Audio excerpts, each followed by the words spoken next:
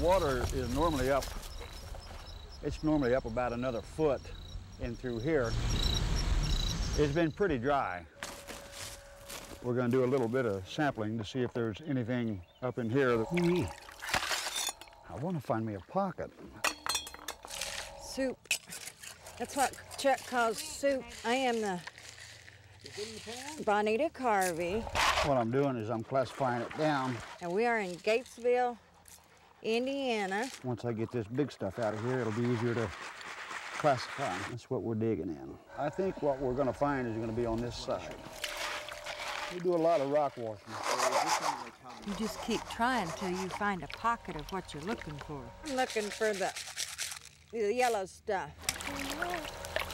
It, it's amazing to think about someone going out and looking for gold and then actually finding it here in Indiana. I swear I saw something. Once we found a piece, just one little speck, we were hooked. Oh, Chuck. Woo. Hmm. A lot of black sand. We're in the money now. If I thought I was going to find a lot, I'd, I'd probably be here every day. It's called a high banker. This one's a miniature high banker. So I just keep rubbing it back and forth. It's just, it's just enjoyable. Oh yeah, this is some good stuff. Oh, it is, Charlie. Look, I'm getting the sunshine. Oh, isn't that beautiful?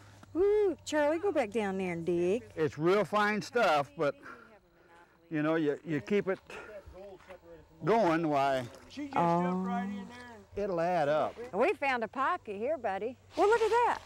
Well, I guess you did. I've seen it a couple times. I just can't believe there's gold in Indiana. They say there's corn in Indiana. There's more than corn in Indiana, that's for sure. There's gold in Indiana. But we don't want that getting out too much.